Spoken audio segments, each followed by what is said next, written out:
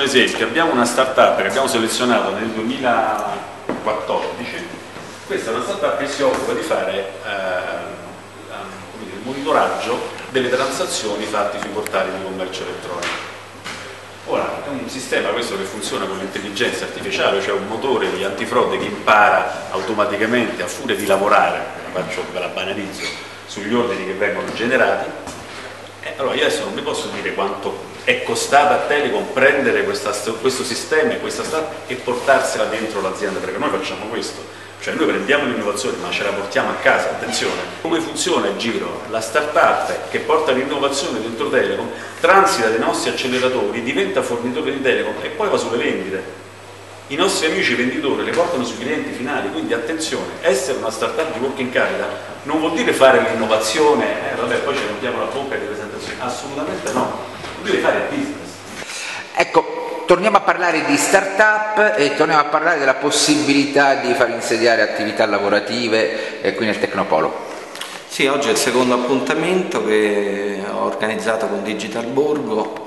L'obiettivo è quello di attrarre start-up ad investire sul polo tecnologico aquilano, sul Tecnopolo e mm, il rapporto con Telecom in questo caso è un rapporto molto interessante perché di fatto Telecom finanzia fino a 40.000 euro a start-up ma dà anche un contributo in ordine alla possibilità di sviluppo commerciale delle stesse aziende che finanzia. Quindi l'interesse delle start-up evidentemente è quello di, quello di eh, dire, farsi finanziare e nel contempo avere un'opportunità commerciale. L'idea sulla quale stiamo, sto lavorando, stiamo lavorando da tempo, è quella di riportare sul polo dell'Aquila polo tecnologico dell'Aquila una serie di aziende ad investire perché sono convinto che nei prossimi tempi e attraverso l'intervento pubblico e attraverso l'intervento di fondi privati si possa riattivare una realtà di estremo interesse all'Aquila.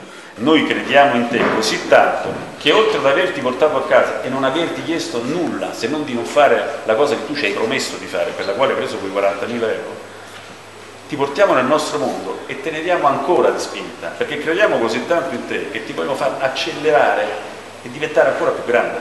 Quindi è una crescita che si fa insieme. Più l'azienda cresce, più Telecom è contenta perché ha portato innovazione, l'investimento che ha fatto vuol dire che è andato bene. Allora, questa iniziativa Startup uh, di Team è il secondo evento che viene adesso organizzato qui nel Tecnopolo di L'Aquila. Con questo nuovo evento stiamo continuando in quella che secondo noi è la strada maestra per um, implementare quella che è l'occupazione di questo posto, ovvero andando ad uh, unire quelli che sono gli elementi più importanti del lavoro. Il primo, la location. Qui il Tecnopolo d'Abruzzo ha una location, ha uh, il tutto per poter insediare le aziende. Non è il solito capannone, ma è un uh, insediamento industriale dove il tutto è centralizzato, dove il tutto è gestito, dai riscaldamenti, area compressa industriale, ehm, guardiania, eh, reception e quant'altro. Il secondo elemento è rappresentato dall'idea progettuale, l'idea progettuale che sono le idee delle start-up, le idee delle giovani menti, le idee di quelle persone che oggi eh, nessuno crede in Italia e che sono costretti a rivolgersi all'estero. Il terzo elemento è il soggetto selezionatore e finanziatore, in questo caso team.